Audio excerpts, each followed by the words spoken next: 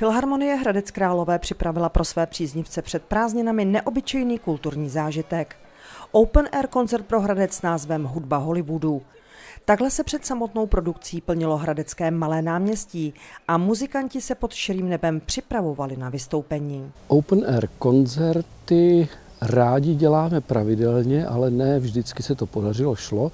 My jsme v loňském roce vlastně otevřeli, řekl bych, novou etapu eh, po eh, té pauze s koronavirem, kdy jsme si řekli, my musíme jít mezi lidi, my musíme jít k lidem a musíme těm lidem poděkovat a ukázat jim, že eh, muzika je nádherná a že bez ní to nejde. Pak už muzikanti Filharmonie Hradec Králové předstoupili před zcela zaplněné malé náměstí právě dnes Filharmonie Hradec Králové.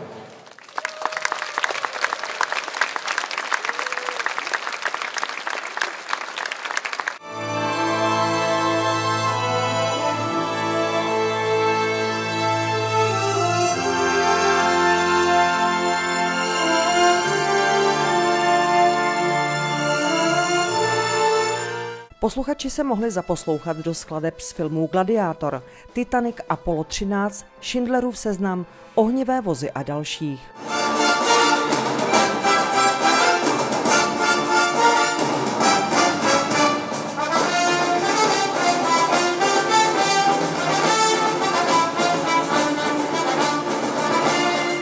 Návštěvníci si koncert užívali a vyšlo i skvělé počasí.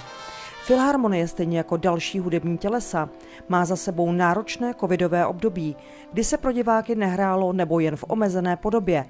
Proto se i prostřednictvím open air koncertů chce toto hudební těleso opět více přiblížit posluchačům a nalákat do sálu více diváků. Podle ředitele se totiž návštěvnost stále nevrátila na původní čísla jako před covidem. I do další sezóny připravila Filharmonie Hradec Králové atraktivní dramaturgii. Filharmonie Hradec Králové jako jeden z velkých symfonických orchestrů v České republice eh, nabízí samozřejmě ta nejlepší díla ze světové hudební literatury a eh, to samé chystá i do nové sezony.